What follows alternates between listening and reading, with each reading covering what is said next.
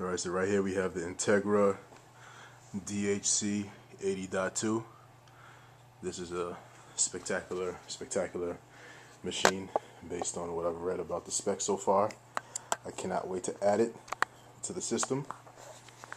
So this is going to be an unboxing, if that's even the right word to use. It should be an untanking. This thing is as big as a tank.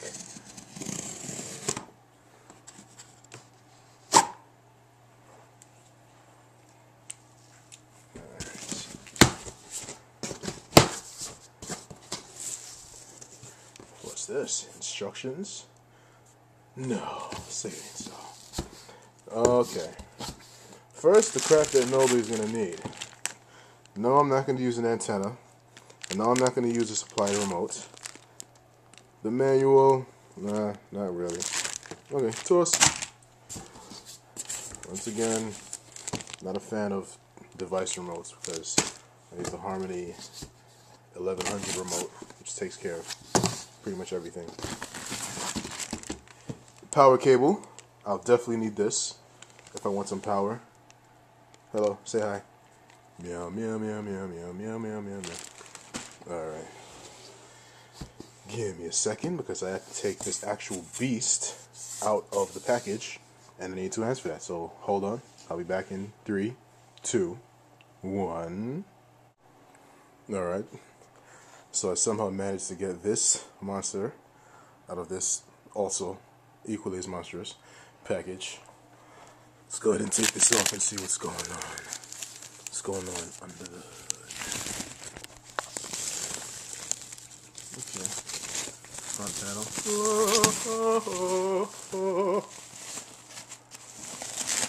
Alright, here we go.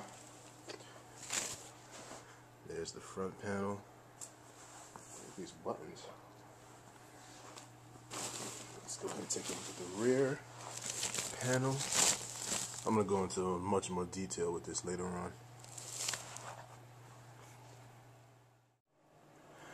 Alright, here's a better look at the rear panel of the Integra DHC 80.2. If you just take a look, the connectivity is ridiculously comprehensive for a processor under $3,000. I mean, the MSRP is about 2400 You can't get better. You just you can't get better.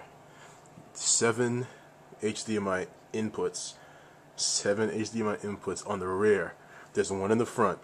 You have two HDMI outs. Both are capable of carrying audio and video to two different monitors.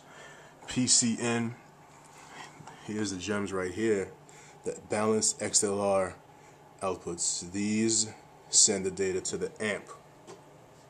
Now, yeah, you have the option to use RCA as well, but XLR, which is balanced, if you have the option, definitely go for it. Um, the the difference isn't mind blowing, but it's noticeable.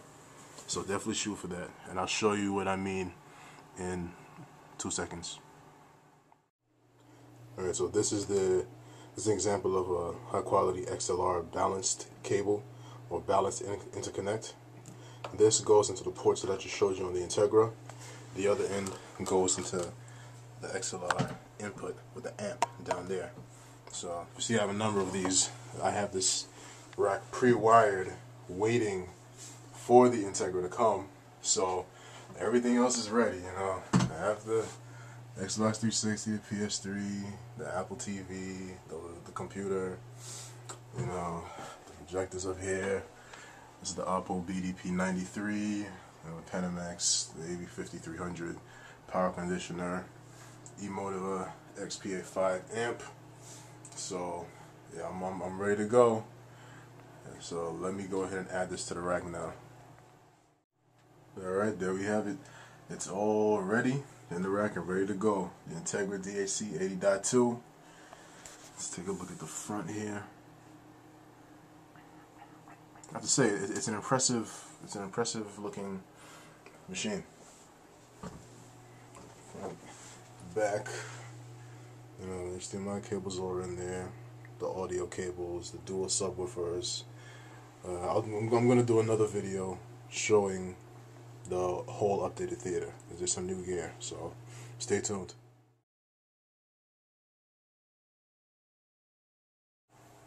Well, hello, sir. May I ask you what you're doing in the box, kind sir? Not gonna pay me any attention. Fine then, be like that. I'm telling my mommy.